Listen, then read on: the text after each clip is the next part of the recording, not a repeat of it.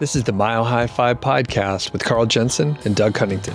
We have authentic conversations about the journey to FI, health, happiness, and some very odd tangents. We interview FI experts, side hustlers, people on their way to FI, and those who have reached the other side. Join us every week, and if you want the show notes and links and all that other stuff, head over to milehighfi.com. Hello, world. Welcome to the Mile High FI podcast. I'm Carl Jensen with my co host. I'm Doug Cunnington. We have a very special guest today, someone I know. Tell us who you are and what you do. Someone I know? I am your wife. My name is Mindy Jensen. I am the long suffering wife of Carl Jensen. I am uh, also the co host of the BiggerPockets Money podcast. Wait, wait, wait. Long suffering? What does that mean? means I've suffered for a long time. Wow. So if you listen, we always put our sound checks at the end. And in this sound check, we talked about Costco. And I'm thankful. I was kind of hesitant to do this, but you suggested we get the Costco prenup package for seventy nine ninety nine. It was on sale because it's a grand opening. And I'm glad we did that. Our marriage might not last through the end of this interview. It would have to be a post nup because we've been married for 21 years. Okay. Do they have that option? I don't, geez, maybe I've been duped. well, this is uh, kind of an exciting episode. Now, Mindy, you've been on the show before. I have. And it was one of the, uh, I don't know, like the first 10 episodes or something like that. And you haven't been back on. And I wanted you to be back on here, but Carl was kind of dragging his feet. So thanks for agreeing to this. Well, you have my phone number, Doug. We can just ditch Carl. Do our own show. Wow. no, but this is uh this is going to be a pretty cool episode and I'll I'll do a little intro, but I'll I'll let you guys talk about it. So you were both on Ramit Sethi's show recently. And you, you recorded it, but it has not been published. But we wanted to, or I wanted to talk to you guys like fresh. So it's been pretty recent. And I could pepper on a lot more, but I guess tell me a little bit about the experience. You pitched to be on the show. So can you tell us why you did it and your approach to do that? Uh, Ramit's book, Ramit is, is known for uh, his book called I Will Teach You to Be Rich. And his whole brand is I will teach you how to live your rich life. That's something that comes up in his uh, Netflix TV show that he's got, um, his podcast, his books. It's all about living your rich life. And we have been very frugal, if you want to be nice, and cheap, if you want to be more honest, with our money for uh, our whole lives. Yes. Um, and we have amassed a nice little nest egg. If you believe in the 4% rule, which we do, then we have more than enough. We had our FI number we then doubled it and then we doubled that. And we still live like we're saving for FI instead of already at FI. Um, so I had Ramit on my show and we were talking near the end of the show about like what would your rich life look like and i started talking about it and then um that was kind of an emotional experience fast forward about a year, he was on the uh, Mad Fientist podcast. And in that episode, Brandon was talking about how he doesn't spend money either. And I was like, wow, I totally identify with Brandon and not at all with Ramit because he's like, spend, spend, spend. And like, we should pitch him to be on his show and, you know, share that we also have this issue spending money. Um, and we reached out. They they did the process is is rather straightforward. You reach out and say, "I would like to be on your show." You fill out a form, and they if they like what you fill out, they contact you to do like a brief video uh, interview, just to I'm sure to see what you're like on camera, and then they go from there. Got it, Carl. Any anything to add? Yeah, I kind of wanted to be on there because, as Mindy said, I don't think we have the healthiest relationship with money. We've talked about this before on the podcast how it's hard to turn off the spending muscle, or it's hard to turn off the saving muscle and turn on the spending muscle. And ideally, I don't think we should have lived like that in the first place. We should have learned how to spend and had a healthier relationship with money earlier. But we can't go back. So here we are. So I was hoping to get Ramit's advice on how we do that, how we have a healthier relationship with money. Got it. And I love it's it's super interesting because I think uh, entrepreneurs like Ramit, and he does a lot of things, but I think I ran across his work through some copywriting courses, some online um, marketing courses, and then of course he has his book. But I think entrepreneurs in the FI community often have similar values, but we're like running next to each other. We don't even realize we're there. But entrepreneurs, a lot of times, they're pretty frugal. They drive old cars so they can bootstrap and grow their business. And then each community sort of looks down upon the other because they diverge on a couple points. So I think it's really cool that a lot of us in the FI community are like, oh, we need to actually spend some of the money. Otherwise, it's kind of a waste. You're just like piling up more and more money. So, you know, we've read Die with Zero. We were just chatting with, about that last night. So this is pretty cool. So you made it on the show. What was the experience like? I was expecting something different.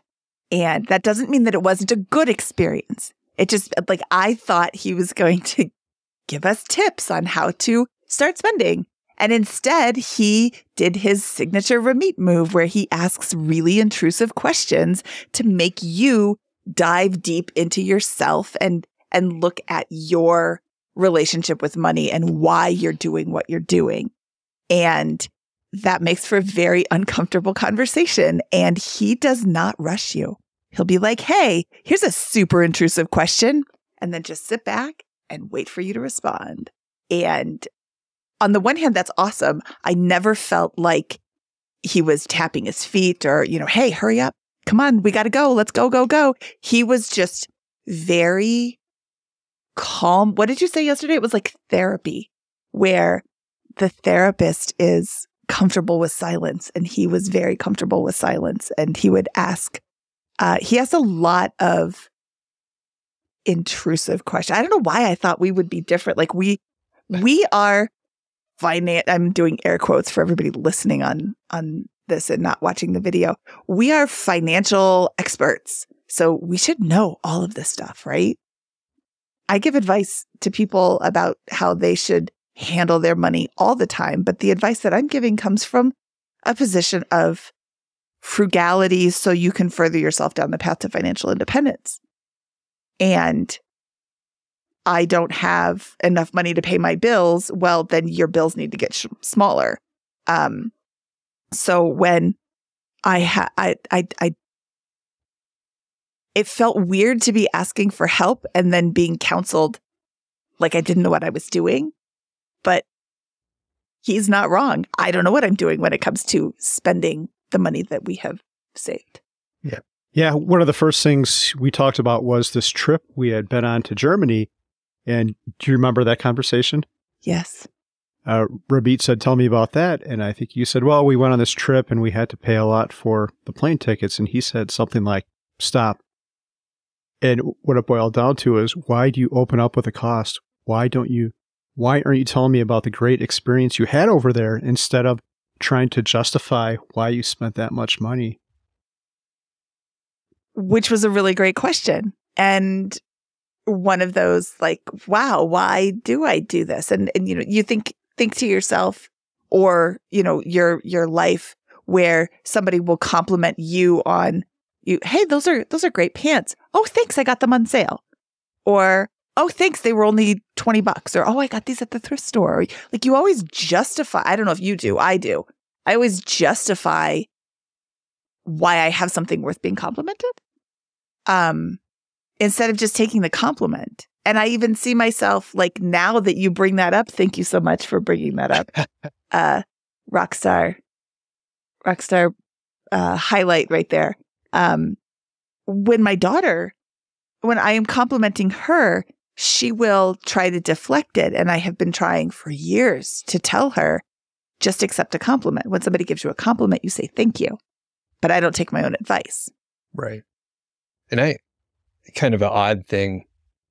When someone insults me, I take that as a compliment too. So I've like flipped it around. I take everything as a compliment. It's weird. Nice. My my wife thinks it's pretty funny. She's like, uh, I don't know if you should, you know, wear that or that's a dirty shirt. And I'm like, oh, thank you. so I don't know if that's helpful.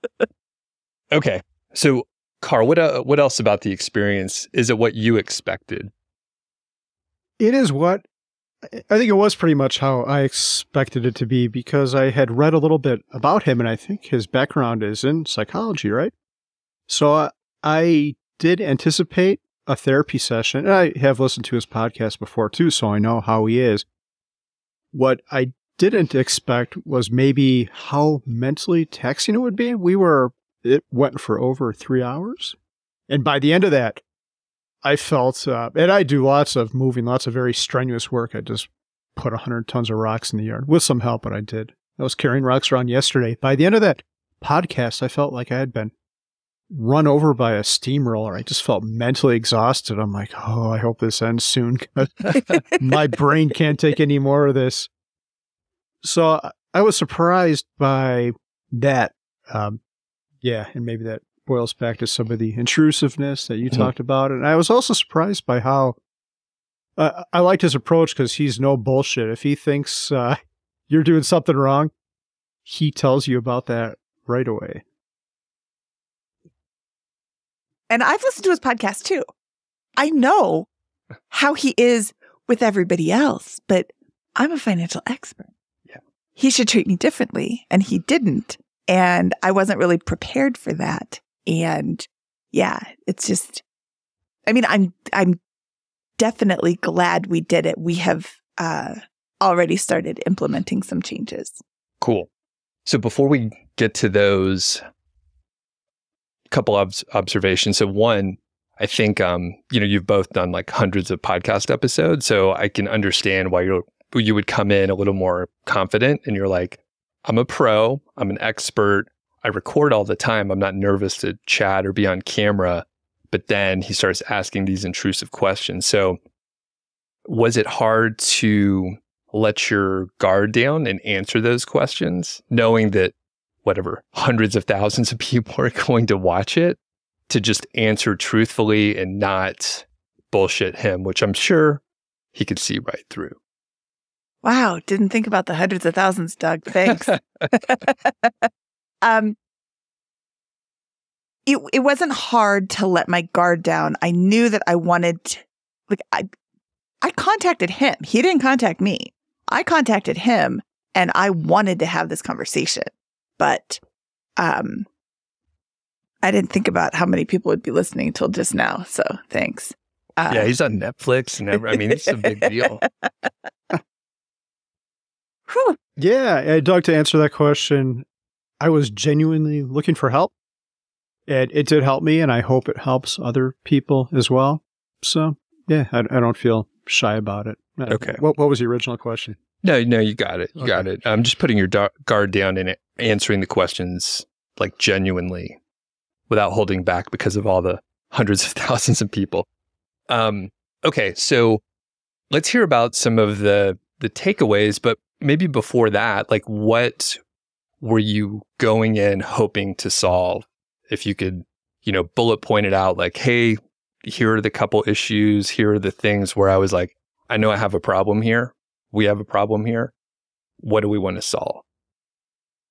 The main one for me is like 25 years ago, 20 years ago, I came from, I was out of college and I had $60,000 in credit card and college debt, mostly college debt.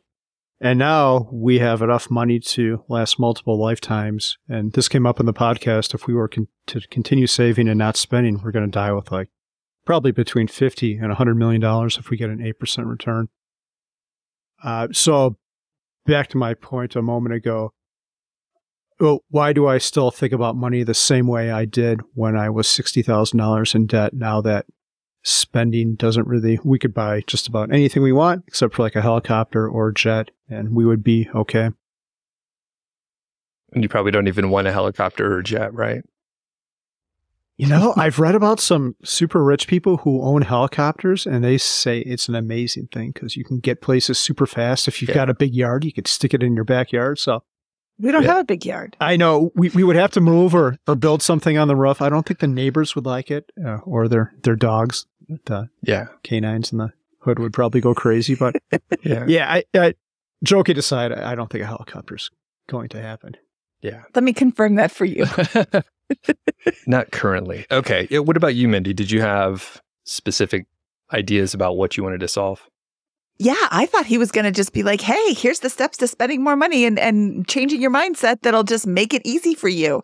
Uh, he did not deliver. He made me do the work. I thought he was going to do all the work for us. Um, so yeah, it, it's. I wanted, I I want to look at money differently, and it has been a lifelong hoarding situation with money why would I spend it when I could save it? Why would I leave it in the bank in cash when I could put it into an investment that will get bigger? But what is the point of it getting bigger and bigger and bigger if you never do anything with it? Like he, what is that phrase? He who dies with the most still dies. So, uh, we, uh, usually I re- when I'm recording, I have a computer so I can like look things up. What is the, the, is it the rule of 72? where Oh, where it doubles every seven years. Is yeah. the rule of seventy two. Uh, complicated, but basically, your money will double every seven years, given an eight percent return, Given a 10% return. ten percent return, 72 divided eight and a half. 10. See, this is why I need the computer in front of me. Um, Math is hard. shush, I have a computer to help me when I'm recording my show. Anyway, uh, the if it doubles every seven and a half years, roughly, by the time we're what seventy two, our money will have doubled to thirty two million dollars. If I can't spend the money that I have now, the hell am I going to spend thirty two million dollars? Yeah. And what is the point of not spending this money now and then it grows till the time that I'm 72 years old and I have 32 million dollars that I can't spend why not spend some of this now and enjoy it now and we've got kids that are 16 and 13 and the 16 year old has 2 years left at home and then she's going to go away to college and let's make memories now. We've spent a lot of time, a lot of their lifetime rehabbing houses and, you know, going on small vacations. And we used to go on vacation where I would work a half day and then join them in the afternoon. So I didn't have to burn up all my vacation time. If we've got this net worth, what do I care about vacation time? Just take unpaid time or quit your job or like whatever. So, you know, lots of lots of things. Um, and really, I was looking for that magic button and I didn't get it, but I did get some ideas. Gotcha. So before we get to the takeaways, some people are nervous about the future. They're like, I'm not sure if we have enough. We need to save a little bit more. It sounds like, Mindy, you were like, hey, why spend the money when you can save it, hoard it, and have it grow? It sounds like you're not really concerned about not having enough in the future anyway. It's more like you just like saving in this your mindset. Is that can you expand on that? Did I interpret that correctly? You're not worried about running out in the future, right? I'm not worried about running out in the future. I do believe that, I mean, the rule of 72 is based on math, and math doesn't lie, even though math is hard. You're right. Uh, math doesn't lie. So the 4% rule says that I will have enough for at least 30 years. I'm 50 years old. If I make it 30 years, that'll be awesome. Am I going to make it 50 more years? Well, not in the history of my family. So probably not going to make it 50 years. But if I have enough based on the 4% rule for 30 years, I'll have enough for 50 years. Um, so I'm not concerned about the future. I think I'll have enough. I think I'll have more than enough. So if I'm not concerned about the future, why can't I spend it now? Perfect. Okay. So Ramit didn't solve the the problem, but what takeaways do you have? Or go ahead. I- I think he did solve the problem. He just went about it in a very deep manner, which is how you should. Like giving us superficial things to spend money on wouldn't have solved the core problem. What I got out of it is every time I think about anything in life, I'm always trying to optimize stuff. Uh, like Doug, when I have to go to the store, I won't just go to Home Depot. I'll arrange it so I've got three other stops. I'll do it at the right time of the day where I don't have to encounter a bunch of people. And then I'll plan my route so I don't have to make left turns. So I'm very specific. And I think about that with everything with food, travel. What do you say, nerd? Can you go get the post-nuptial agreement? I think we left it in the back of the car. We could uh, we could read through it. Live on air divorce. First time. That might be pretty good for ratings, though. I don't know. How far uh, are you want to continue.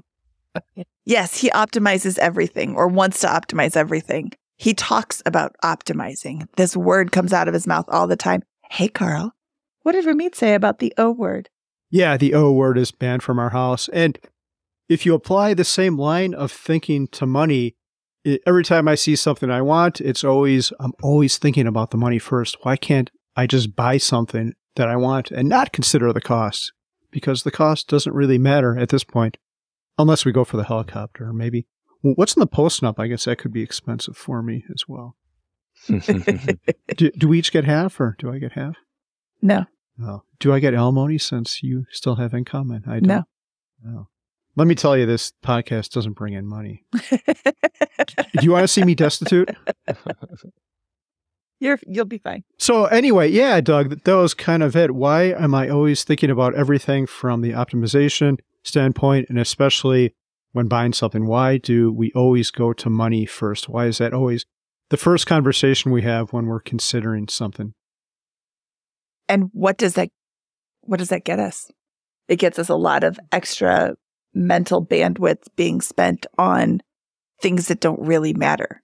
Does it matter if we paid an extra thousand dollars for a car in the long run? No. I thought you had a really great uh, point last night with the uh, the Hawaii trip that we're taking. Um, you said we're probably going to spend ten thousand dollars on this Hawaii trip that we're coming up to. Now, this is not like I just casually said that we don't just here, here's that ten thousand dollars. We don't just drop ten thousand dollars on Hawaii trips all the time because that causes us a lot of anxiety, uh, finan- uh, mental anxiety, not financial anxiety. But then, if we were to do that, we could take 100 of these trips and still have enough money to live per the 4% rule for three lifetimes. Why are we obsessing over this one $10,000 trip? Not the 99 others that we're not taking and could and still would have enough money for three more lifetimes. Um, you you said a moment ago, Doug, that uh, Ramit didn't solve the problem. He did. He just didn't solve it in a nice little neat package that he was going to hand me, uh, which is what I was looking for.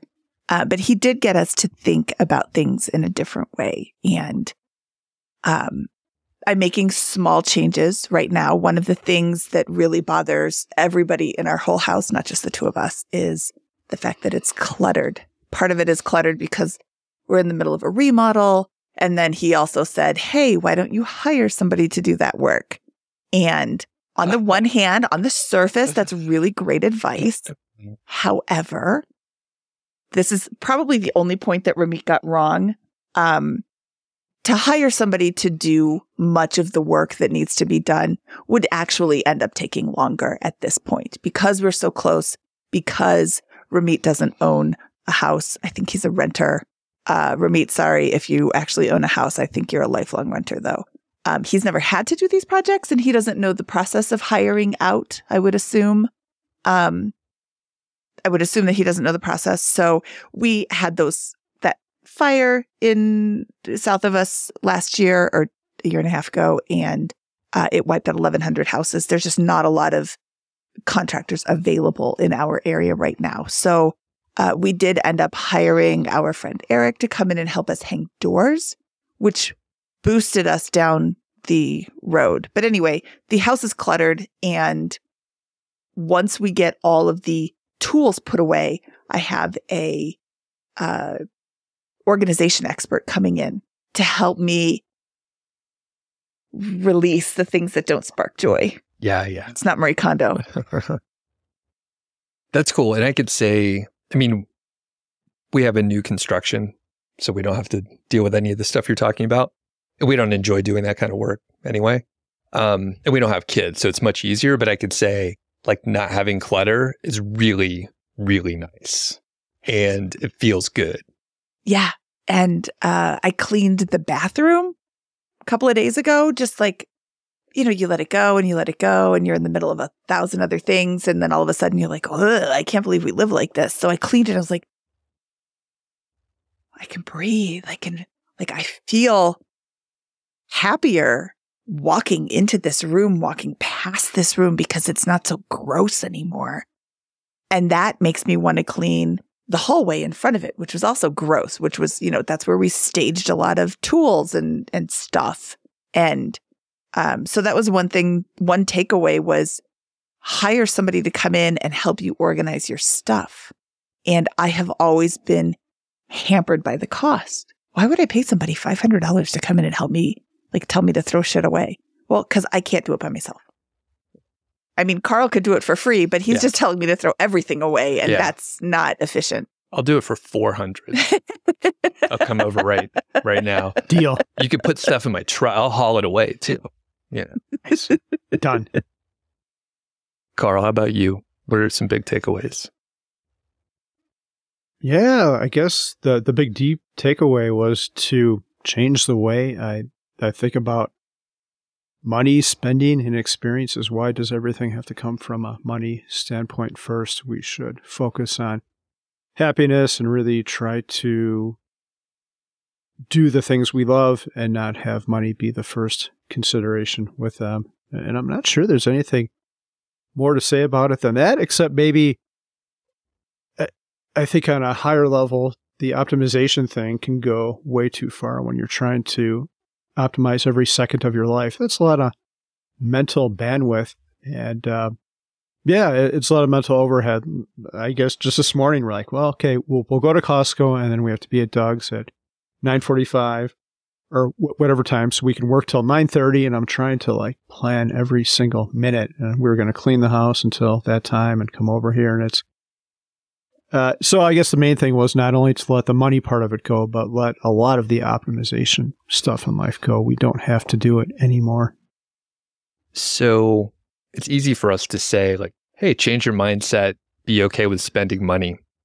If it was that easy, you probably would have already done it. So, what small steps, Carl? And, and I know, you know, over the last year, I've seen you like personally, like say, hey, I'm taking the the direct flight instead of shopping around for, you know, maybe a cheaper connection thing where it'll cost you like half a fucking day. You know, it's a huge waste of time.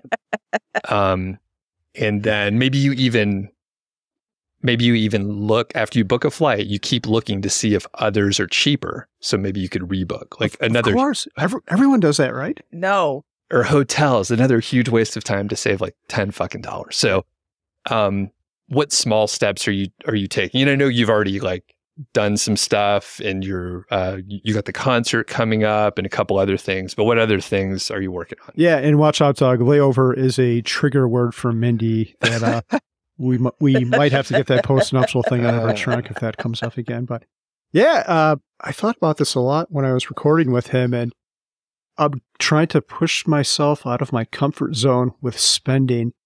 And I had three items here. The first one that Ramit actually made me do while we were recording was to text our mutual friend Eric and ask him if he was available to help with the construction. It turned out he was. It was pretty weird texting Eric while Ramit's in front of me on the computer screen, but and we've already done that part. I'm going to, if we have any more projects, I'm definitely going to engage him. But then I thought, what else could I really spend money on that would bring happiness for me? And we came up with two other ones, or I did. We asked our girls to both come up with the top 10 places they would like to go in the world. They made a list, or the younger one is still working on hers but we're going to see where there's overlap and take them somewhere for the holiday season this year.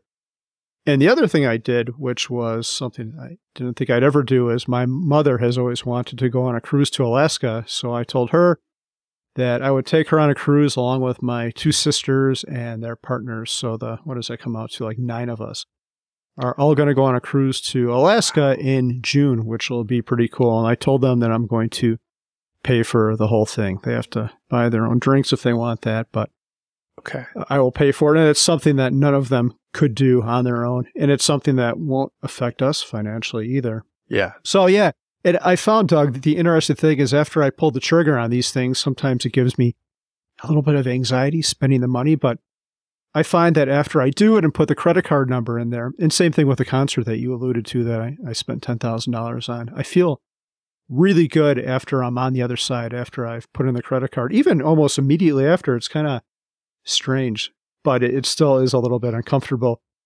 considering the money. But we did the hard part. We spent it. That's cool. So that's what you're doing in June. You're doing the Alaska cruise. it it'll be a year from this June. Oh, okay, gotcha. I was like, oh wow, that's pretty fast to to be able to book that. That's cool. All right, um, Mindy, what about you for the small steps, or do you have tips for Carl? That's funny. No, I'm just kidding. You don't have to give t- Carl advice here. Tips for Carl. Do everything your wife says. Happy wife, happy life.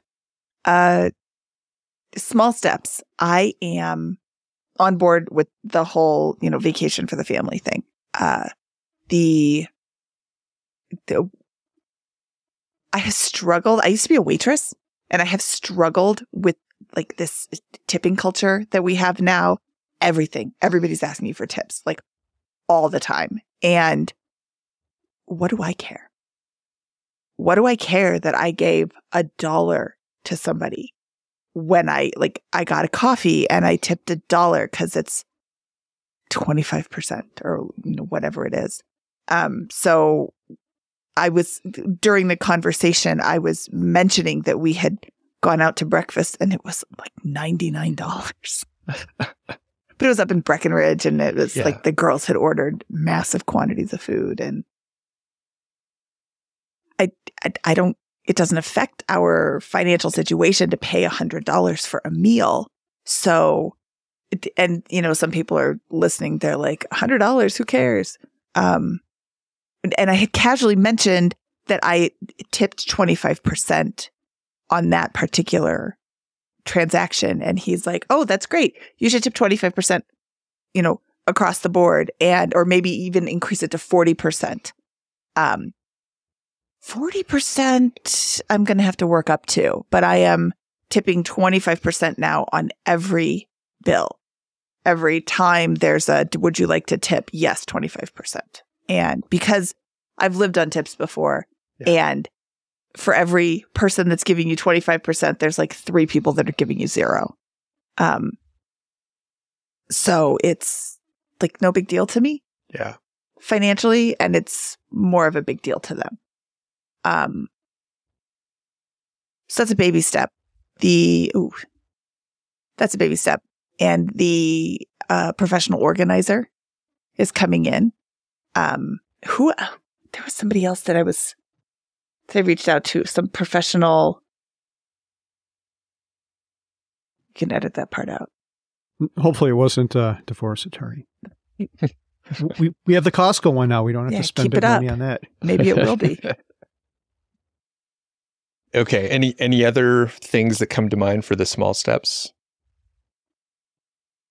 Yeah, for me, it's just trying to intercept these thoughts. And this is something I even asked Ramit about. How do I, like, whenever I think of something, the money always comes up first. How do I intercept that in my mind and knock that part down?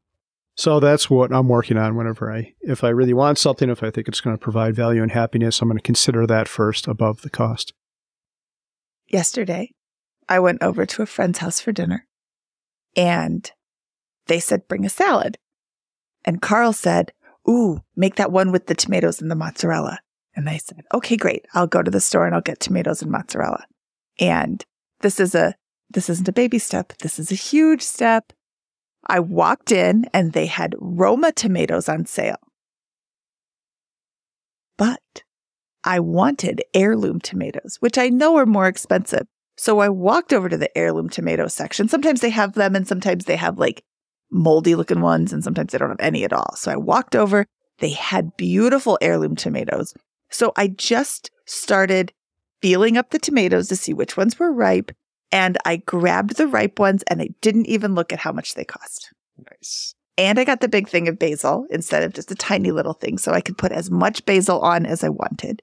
And I got two logs of sliced mozzarella, not just one, to try and like squeeze it out into just one. I didn't look at the price. That's awesome. And which is so unlike me. And it you brought it over here. And Yes. the thing is, so it was on because I was like, these heirloom tomatoes are really good. So I like I nailed it, right? It was so good. Yes. Yeah. I was very happy to see those because I, I used to grow tomatoes, but I haven't since we moved from Georgia. And heirlooms were like the thing that I aim towards. So they yeah, that was a really good salad. They That were was really perfect. delicious. The, I mean, the tomatoes could have been a little bit more ripe, but you know, the day of, it's Yeah. it's kind of amazing to find even close to ripe tomatoes. I mean, you can go into the grocery store and find like pinkish tomatoes. Yeah, yeah, yeah, that was super good. So one thing I'm going to shift gears a little bit because um, recently I read Die with Zero, and we're going to do a show on it before too long. Someone that I know, she was reading Die with Zero in her book club, and she basically hated the book. I think she came up fairly poor, you know, as she was growing up. So she had a lot of issues with it, which is great to get like different opinions because most people that we talk to, they're like, wow, this is really like life changing. So a lot of, I'm quickly summarizing like a couple page of notes that she sent over. Shout out to Roxanne. But essentially, it was sort of, it was, she had an issue because it was like, this book is just for like really rich, wealthy people. And it doesn't make sense. And it's kind of bad advice if you misapply it, essentially.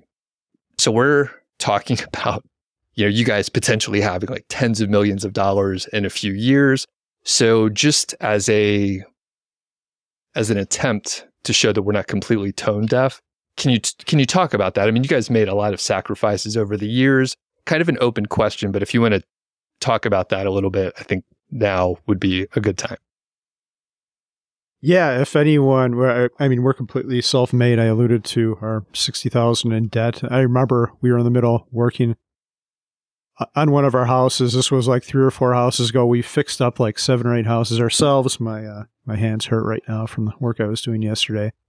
But our friends came over and they're like, "Ah, yeah, what have you been watching on TV?" And there was like all those zombie TV shows were were big and all that. And they're like, "Oh, have you seen this one, like The Walking Dead or whatever it was called?" I'm like man, I haven't turned on a TV in years. Like it's still in the box. We haven't unpacked it from when we moved two years ago because we were still working on the house. It maybe this speaks to why we have an issue with letting go of the money because we worked so hard for it in the first place. But and I'll say another level with this and the Die with, Zero book is some of the great things you could do once you have wealth is give it away and help others. And we definitely have plans to do that as well. But yeah, and I, the final thing I'll say is we're very fortunate, despite uh, what I just said. We worked hard, but how great it is it that we were born in a place that you can work hard and you can come from not a lot and make something of yourself if you're willing to not watch zombie shows for a long time. I still haven't seen any of them. But I have no interest. I wouldn't have watched it even if we weren't working on the house. Yeah, I'm so thankful we were born in a place where we can work hard and that, that we did have the opportunity to do this. So, yeah, I'm not. What would you say to Roxanne? I would say that her point is probably valid. Uh, that wow. Can I rephrase? Can you edit that part out? I would say that her point is valid for her experiences. I'm not in a position to be able to say, well, what you're feeling isn't real or, you know, you shouldn't feel that way because that's not my experience. That's her experience and that is valid. Um, it can be difficult to read the advice that he's giving in his book when you grew up with literally nothing and you're trying to get yourself to a better place and now here's this guy telling you to give it all away or spend it all or you know you when you grow up with nothing and I don't know if she has children or not but if she has children she's going to want them to have a better life than she did And that includes leaving them some money. And I, I think he, his book gives the advice to instead of leaving it to them when you die, give it to them now while you're alive. The gift limit, again, I don't have my computer in front of me. The gift limit is like fifteen or seventeen thousand dollars this year. That means, Doug, if I wanted to, I could give you seventeen thousand dollars. You don't pay tax on that. I don't pay tax on that. That's just a gift. And I can do that to everybody. Carl could give you $17,000 as well. We could both each give you $17,000 and then you've got $34,000 to go do something with. That also means that we could do that with our children. We can start giving them these gifts now, put it into a bank account. Just because we give it to them doesn't they need to know about it. And then in a few years, they've got a large amount of money tax free that they can then go pay for college with or buy a house with or, you know, something of that nature. And that is a maybe a different way to help your child as opposed to leaving it when they when you pass. Um, I think that instead of reading it as, oh, this is the only way this has to be, it's just more of a, you know, hey, did you ever consider this? Mhm. I think that's how you should read all of these books. Did you ever consider this? And you can pick and choose what you take from it. You know, oh, I take this one little bit. I take this one little bit from this book. I take this one little bit from this book. Yeah, it is. Uh, I think this is why I struggle with money. I remember growing up, like my parents would never put a full tank of gas in their cars because I don't think they could afford it. They'd always put like five dollars in or something like that. Fill it maybe a third of the tank. When we would go to Kmart to buy clothes, and we wouldn't just outright buy them. We would put them. Do you know what layaway is? Layaway, yeah, we did layaway. Yeah, Yeah. You, you take it to the counter, and then you come in and make a payment on your Kmart like shorts. I call the the Kmart ensemble, which I ma- thought was funny. You, you come in there and make a payment on them like every week for ten weeks, and then at the end of that, you get your clothes out of the back. They go Yeah. back there and get them.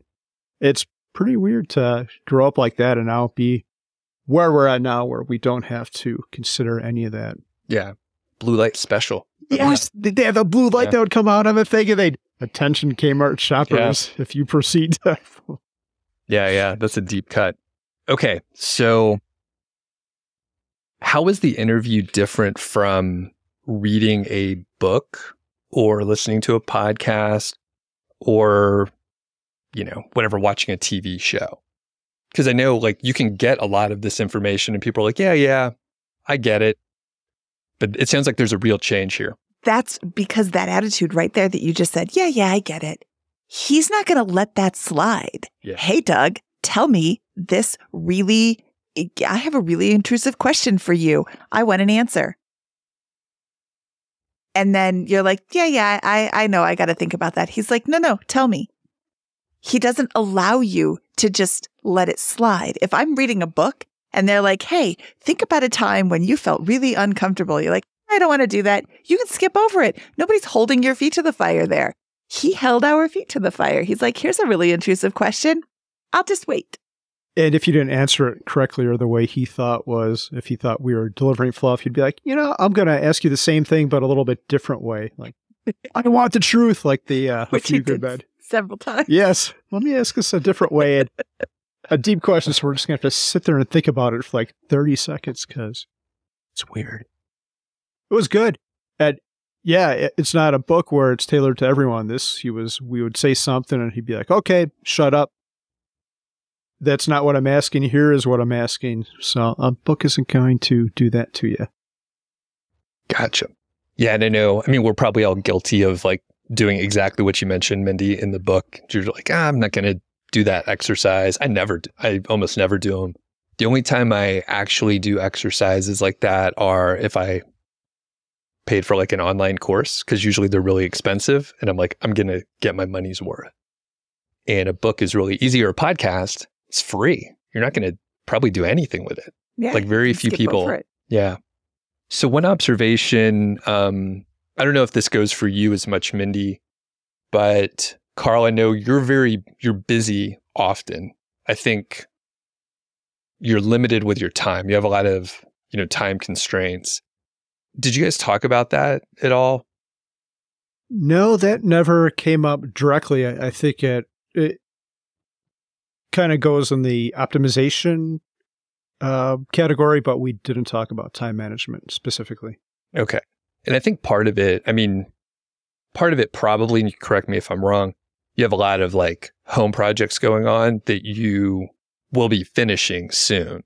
Now, I've known you for a couple years. They're always perpetually gonna, like two weeks away, from what I can tell. um, so when you finish the projects, you should have more free time, right? Yes. While you didn't talk about time management or anything, did you talk about projects and doing things that you're earning more money, optimization, blah, blah, blah? Like, do you see where I'm getting at here? Did you talk about ending those projects? Uh, we didn't. He suggested that we should get help. He, he asked multiple times if I still enjoy these, and I said no, I really don't. He's like, well, what was his quote? If it's a problem money can solve, it's not really a problem. He's just like hire it out. And to Mindy's point earlier, we're not going to do that because we're at the very end of these. Right. But um, okay, we were in the middle of we're kind of still in the middle of a bathroom remodel, but we were like laying tile and then stopped to record the show. So uh, you lay tile down and then you wait for the, the glue to dry and then you put the grout in between the tiles.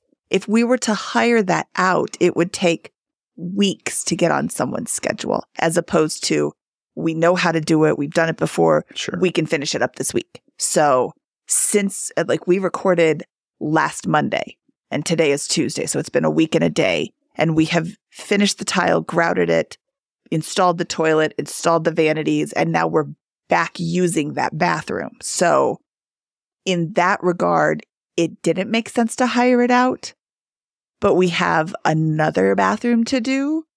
Maybe that'll make sense to hire out, or maybe that'll make sense to have Eric come and help us with demolition. Um, Eric is much stronger than I am. He and Carl together make a really great team. I, I, noticed you left out the bidet. I did Which leave I out the bidet. Carl finally installed the bidet. It's, Oh, yeah. it's glorious. It's Nice. glorious for him. It's glory ass. and we'll do, I think, an upcoming sound check. We'll talk more in depth about the bidet. We'll probe deep. So, so it sounds like this was a great conversation with Ramit, and you got a lot out of it. You're starting to take steps. How do you think things might have been different if you had this conversation years ago? And I won't propose a specific time frame, but let's say, whatever, some time ago. How would things be different now? Yeah, that's uh that is a great question. Uh I definitely would have had more help with the house. I would have hired Eric sooner. I'm not sure why I didn't do that sooner, and I'm not even sure why I didn't do it with the work we did like last week when Ramit said, "I want you to text your friend right now while, while we're on the thing." Like, why didn't I do that before? It certainly isn't because somebody was suggesting that to you. Yeah, Mindy did suggest it. We've had we've had a lot of bad experiences with, with people we've hired, but Eric is a known entity and I know I can trust him and I know he does good work and he cares. And yeah, maybe we would have let go. And that all speaks back to this, goes back to the spending because I'm paying, eh, well, Eric is my friend. I'm paying him and I'm paying him well to do this. But I don't know, it gives me joy to pay him too. He's a friend. I'm helping him out. But bigger than that, I don't know. Maybe we would have loosened the purse strings earlier. What What do you think? I would say let's put this in time frames. Doug's not going to give us times, but I'm going to. 10 years ago, when we had just discovered the concept of the 4% rule and financial independence and that whole thing, I think having this conversation then would have been met with first of all, I would never would have applied back then. I would have been like, no. I mean, I didn't even read his book 10 years ago. I will teach you to be rich. Well, I know how to be rich. You save. You spend less than you earn. You invest wisely, you know, blah, blah, blah. So that didn't resonate then. 10 years ago, I would have not paid any attention to what he was saying. Five years ago, I'm not sure that I would have taken this advice either.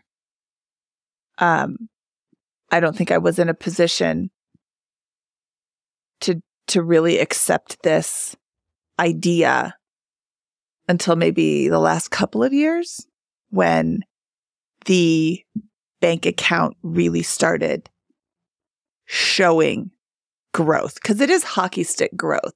You're, you know, you're saving and saving and investing and investing and there's a little bit more and a little bit more. And then all of a sudden there's a lot. And it was just in the last couple of years that it was, oh, this is a lot. Mm-hmm. Was that based on, do you think like the amount of time and the compound interest kicked in? Or was it the sheer amount of money or a combo of the two? I think it was the growth in the stocks that we're investing in. Yeah, we had a couple stocks. We had two years in a row where our portfolio went up a million bucks uh, each year, which was great. Okay. And it was individual stocks like Tesla or something? Yeah. Okay. Got it. All right. Well, any other big takeaways or things that I didn't ask about that were super interesting that I should have asked? I thought one thing that was interesting at the end of this, I don't know if this will be in the podcast. Ramit looked at me. He's like, I think you could use therapy. I'm like, holy shit. Like, you don't even know the half of it. There's other reasons beyond money why I probably need therapy. But I thought that was pretty cool of him to say and just be like that blunt. Like, not many people will tell you something like that, right? Like, most people want to be friendly and maybe tell you a bunch of bullshit. But yeah, I, I appreciated that. And I appreciated his um, honesty and blunt nature. I appreciate his blunt nature now when he's asking you super intrusive questions and then just sitting there waiting for an answer. You know, because sometimes you're, you know, somebody will ask you a question and you're like, wow, I really don't want to answer that. And you just kind of quiet or you like futz around with answers and they're like, okay, moving on. He never said that.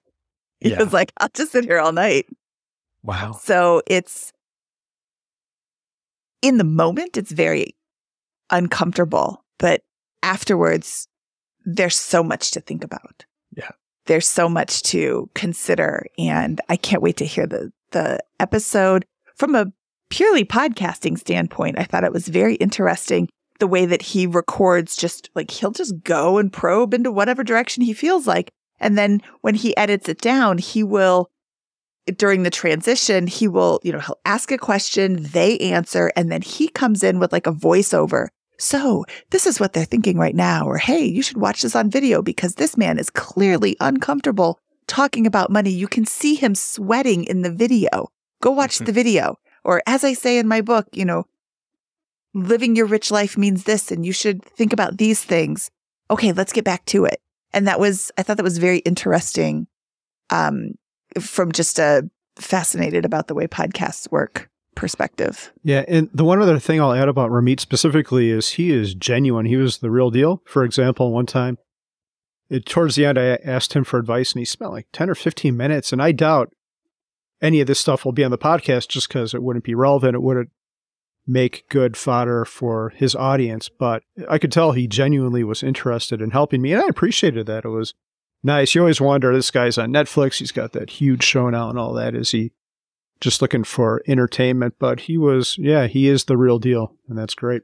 Cool. Absolutely. And to your point, Mindy, I was actually going to ask, like, as podcasters, did you pick up anything? Obviously, his show is different than it's a different format and a different style. So it's not directly going to apply. But did you pick up anything that you're going to use in the future? I have a meeting with my producer to talk about just the different tips that he the different things that he does. I really like that voiceover thing to work with the transitions because I mean, he recorded three hours of us. He's not going to release three hours of us. I mean, some of it was dead air while we're sitting there like, uh, uh, I don't know. And some of it is, you know, like Carl said, we would answer and he's like, well, I don't like that answer. Let me ask you in a different way. So I think that, uh, that's a really unique way to make a nice transition.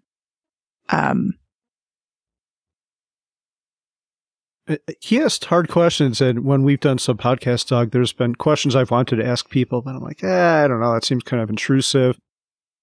But I think based on Ramit and this, I think I should have asked those, and I think I will in the future. You can still do it and be nice about it. You don't have to be mean, but I don't know. The hard hitting questions are where the value comes from, I think, in a yeah. lot of cases. You can ask more probing questions in a kind way as opposed to kind of jackass questions in a rude way. Mhm. Um, and one thing that I liked about uh, what he did was he was never in a rush, but at the beginning, which probably won't make it into the show either, he said, I may cut you off when you're talking. That's not, you know, I want brief responses. And if you start going off on a tangent, that might, you know, lead down a different path or whatever. So I might cut you off. I'm not being rude. And that made me feel better when he cut me off. Cause I, I ramble. Clearly, as everybody is listening to this, they understand. Yeah, she does. Um, but I thought that was really nice. And that's something that I'm going to incorporate into my show as well. Hey, just so you know, if you start going down a path that we think you already answered the question, we might cut you off. We're not being rude. We're just trying to keep the show on a course. Um, and it was it was nice that he did that up front. That is a great tip. It's not too often, but yeah, sometimes people will just go off on a tangent. Usually it's Carl and I, but uh, sometimes other people. Doug, I'm going to cut you off. Yeah, it's just, it's too much. okay, cool. Anything else you guys could think of? Let me look at my list. Yeah, I think that's pretty much it. I look forward to going to Hawaii in a couple weeks and spending a lot of money. You know, I just said it wrong. I shouldn't have said it that way. Okay. I look forward to going to Hawaii and enjoying the time with our children. yes, and having great experiences. That's how. See, it? I always start with money, and I should start with other shit. There's no need to start with money now. Awesome. This has been uh, really fun. Thanks, Mindy, for uh, joining us this morning, and I'm looking forward to uh, you know checking out the episode and I guess like see the progress. So actually, I'll ask one more question. Are, do you guys have any like checkpoints along the way? Are you treating this like, hey, this is a goal, and we're going to evaluate this on a periodic basis? Yeah, that's a good question. And I'm going to throw this back at you, Doug. I guess I haven't thought much about that, but I'm kind of curious as to how we would even go about uh, checking ourselves or assessing what we've learned or how we've changed. A big sticking point for both of us is the house being cluttered. Mm.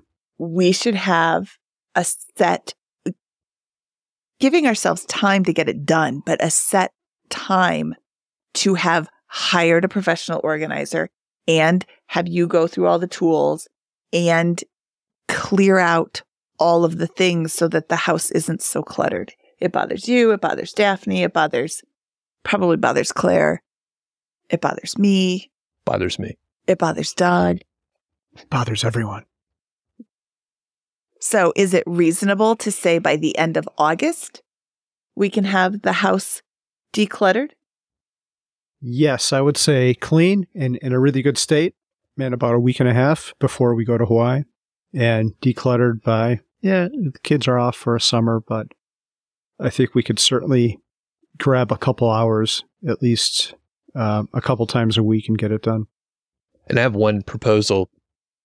I know the clutter is a little different than like house cleaning or whatever, but once it's in a decent state, get like some cleaners to come in, do a deep clean so you don't have to like fucking, you know, scrub the whatevers. Yes, that was the other professional that I'm hiring. I can't believe I forgot about that. I fucking hate cleaning. Yeah. I'm sorry for anybody who's never heard me drop an F bomb before, but I fucking hate cleaning.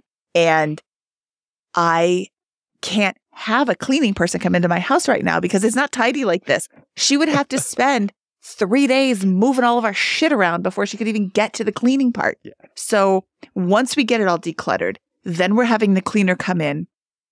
And it's not just once. She's going to come in and do a super, super deep clean, Mhm. which is going to be awesome. And then every two weeks, she's going to come in. Perfect. And after a few months, we're going to reevaluate. Hey, do we like how clean the house is when she comes in every two weeks? Does she need to come in every week? I have the money to do it. I fucking hate cleaning. Yeah. as evidenced by how not clean my house is. so, like, I I feel like everybody listening is like, oh, is she a hoarder? Does she like live in gross? Like, we don't have pile like we don't have little paths around our house. We're not like that. We we can't be on a TV show yet, but like somebody will spill something on the floor and then they'll wipe it up, but it's now a smear instead of an actual wipe. I have not gotten on my hands and knees and cleaned that floor in far Yeah. too long. And Carl, you just got to wipe it all up. I know that's you that's spilling stuff and doing I that. didn't name him by name, Doug. I'm a slob. It's funny you mentioned that we were in the Costco today and they had a croissant sample and it was very flaky. So I bit into it and like flakes went everywhere. It was like an explosion. And some lady, there was a lot of Costco employees there for the grand opening, came by with a little sweeper thing and was Oh, sweeping out all my crumbs like right behind me. I'm like, wow. I need one of those at home, right? I know, Yeah. right? Yeah, just follow me around all the time. And Sweep up the mess that'll obviously be, you know, the wake behind you. yeah, pig pen. Cool. All right. Well, we'll check in at the end of August. So now you're committed. We're publishing it. I tricked you guys, and then you gave the the deadline. So we'll check back in. Awesome. Thanks. Thanks, you. Doug. Thanks for listening to the show. That was the Mile High FI podcast, and I'm Doug Cunnington, the Balder host, and Carl Jensen is the cool, sexy one. If you dig the show, please do three things for us. Number one, tell a friend, a family member, an enemy about the show. We really don't care who you tell. Maybe forward them a specific show that you know that they will like. It's the single most helpful thing that you can do to spread the word. It's like giving us a virtual high five, and uh, actually, we don't give high fives in in person, so the virtual kind's pretty good. And more importantly, your friend or family member or even your enemy will appreciate the fact that you were thinking of them. Number two, make sure you're following or subscribed on your podcast app, Apple Podcast, Spotify, Overcast, YouTube, whatever you're using, and that way you won't miss a show. And number three, please leave us a rating and review. We read them on the show occasionally, and you might hear yours out there on an upcoming episode. Quick disclaimer this show is not financial or legal advice. I'd actually be surprised if it sounded like it.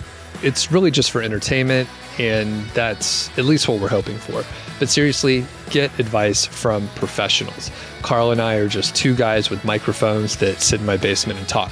So we'll catch y'all next week.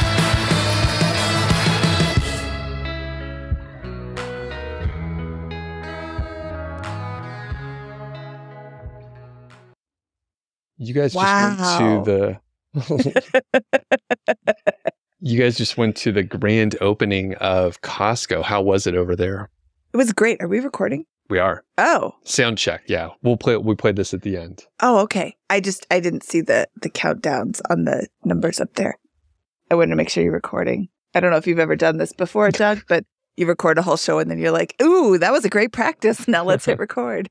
And look at you, you're getting off topic already. Oh my God, have you met me? I am always off topic. Back, Costco, Costco. back to uh, the the topic at hand. We went to the Costco grand opening on May fourth. Doug, may the fourth be with you. Oh yeah. Uh, Star Trek reference for all of you nerds out there. Wait, Star Trek? Oh, we're gonna like blow up the internet. Wow, Yeah, yeah. the angry folks out. I love doing that. I say to quote to quote Doctor Spock, may the fourth, or to, to quote uh, Mister Spock, may the fourth be with you. And people email me. That's not Mister Spock. good. That's from Star Wars. I like you call him a doctor too. Well, so there's Doctor Spock, the the baby, Oh yeah, yeah. uh, baby razor, baby doctor. I don't know. You have a lot of energy. You got you're off topic again. Did you put amphetamines in your Fruit Loops or something? Or what happened? Yeah, what's going on? What are in the samples at Costco? Bringing it back. Yeah. Bringing Stimulants, back. obviously. Bring, stimulants for sure. Also, I had my coffee this morning, so I am like like we talked about. I am raring to go in the morning. Um, I would I would like to thank both Doug and Carl for a having me back and b paying my appearance fee of seventeen thousand dollars. And we're Here's- off topic again. Here's that hundreds. Here's that fifties. Well, well, Doug, I'll tell you, my favorite sample were the the pralines. Is that a Georgia thing, like pecans with sugar on top? It's definitely a Yeah. southern thing. Yeah, they- Pecans are yeah, they're Georgia. so Yeah. good. I love pecans, and then they had frozen chocolate covered raspberries. Which I got for you because Yeah. I don't like raspberries. I appreciate that. Oh, wow! I thought you were just being nice.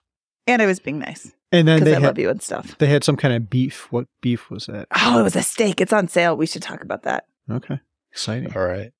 That's pretty cool. Yeah, I may go over there. You said it was like super crowded, so I'm going to wait for the crowds to die down. I may just walk by. I don't know if I'll go in. Maybe I'll just check it out. I usually I'm not big on the samples. It's usually like rather unhealthy stuff and uh it's just too easy to go crazy in there. But most people get a lot of samples, right? Yeah. Yeah, That's the I, whole reason you go. Yeah. yeah. No, no need for breakfast or lunch today. Yeah. Actually, I could just walk over there each day, get some samples, and then I don't have to eat till I Dude. get home. Free gym, free food. You're not know. going to pay for anything. You could probably live there, like just find a mattress and camp out there at night. Yeah, Hang out. Doug's life hacks live for free by living near Costco so you can walk there and then have samples for, for lunch every day. You stay healthy that way. Yeah. Well, I didn't say you stay healthy. I said you live for free. Well, my gym's over there, so I'm like, I go over there, w- work out, get some snacks on the way Oh, home. I thought Carl was just talking get a free workout by walking. No, no, my gym's like legitimately over there. yeah, Yeah, yeah. it's free as well. What's the gym? It is uh, the old apartment complex that I used to live at. Nice. Okay. Yeah, so nobody tell nobody tell on me.